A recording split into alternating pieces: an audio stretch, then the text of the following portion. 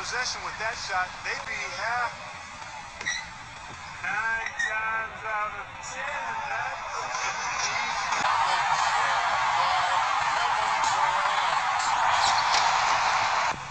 Outside Durant.